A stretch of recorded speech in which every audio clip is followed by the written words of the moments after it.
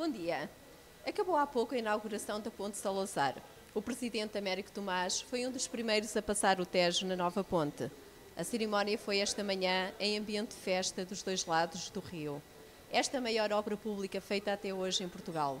A ponte abre ao público ainda esta tarde. Por agora é tudo neste direto, com imagem e, e